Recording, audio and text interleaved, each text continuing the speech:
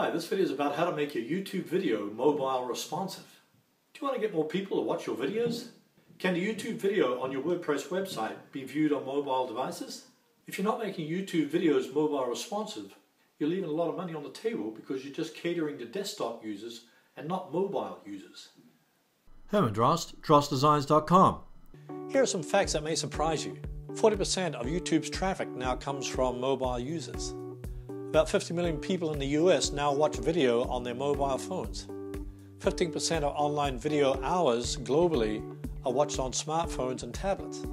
Did you know that when you grab the YouTube embed code or the YouTube URL and place it in your WordPress web page, it doesn't display correctly for mobile users?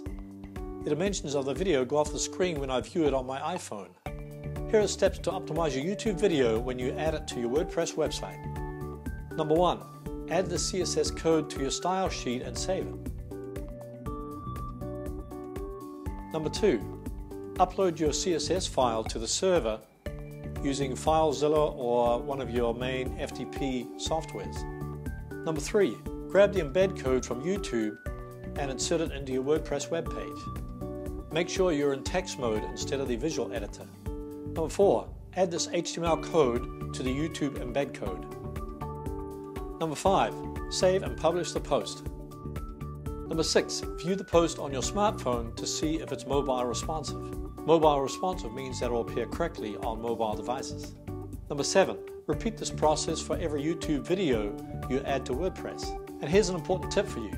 Make sure you use a responsive theme for your WordPress website. This will allow all your web pages and posts to display correctly across all mobile devices. That's it. If you have any questions about this content, make sure you leave them in the comments below this video. Thanks for watching. And now I'd like to invite you to subscribe to my free e-course, 21 Ways to Get YouTube Traffic. Click the box above or click the link in the description below this video.